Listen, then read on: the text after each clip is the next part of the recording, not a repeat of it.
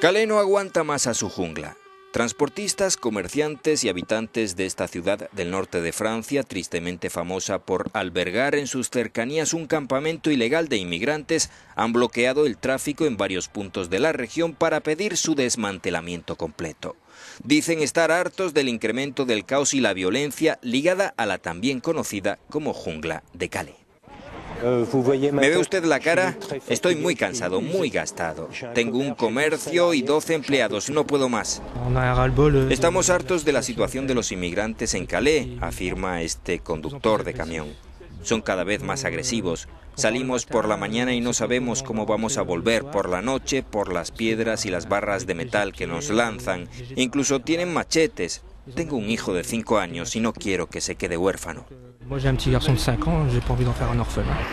Se estima que en la jungla viven entre 7.000 y 10.000 personas que aguardan durante semanas e incluso meses el momento adecuado para poder cruzar a Gran Bretaña.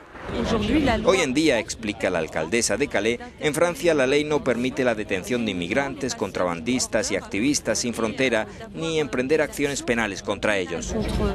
Otros campamentos similares fueron desmantelados en el pasado. Definida como una ciudad sin ley dominada por las mafias, la última jungla es una de las de mayores proporciones y de más difícil desmantelamiento.